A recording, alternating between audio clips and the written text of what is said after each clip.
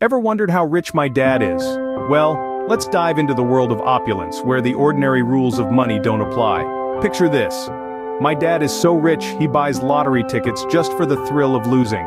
Imagine having so much wealth that losing becomes a thrill, a mere game of chance that doesn't dent the pocket. It's like lighting up a cigar with a hundred dollar bill. Now that's a level of richness that's hard to fathom. Talk about a money burn, huh? But that's not all. Want to hear more? Let's dive into the next three jokes. Dad's so wealthy, even his piggy bank has its own security system. Now we all know piggy banks, right? Those cute little ceramic or plastic containers where we save our pennies.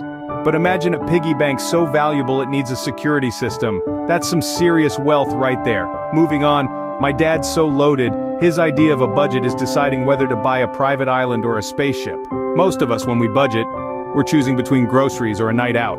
But when you're as loaded as this dad, it's a toss-up between a private island and a spaceship. Talk about first world problems. Lastly, dad is so rich, his coffee table book is an actual coffee table made of gold. Forget paperbacks. This dad's coffee table book is literally a golden coffee table. Now that's a conversation starter. And you thought your dad was extravagant. Still with me? Let's continue. My dad's so well off his personal chef has a Michelin star for making peanut butter and jelly sandwiches. Yes, you heard that right, even his PB and J's are gourmet. Next up, dad's so rich he uses gold bars as doorstops in his walk-in vault. Because you know, regular doorstops are just too mainstream. Moving on, my dad's wealth is like a black hole. It sucks in money from nearby galaxies. It's a comical way of saying his wealth is so immense it's practically gravitational.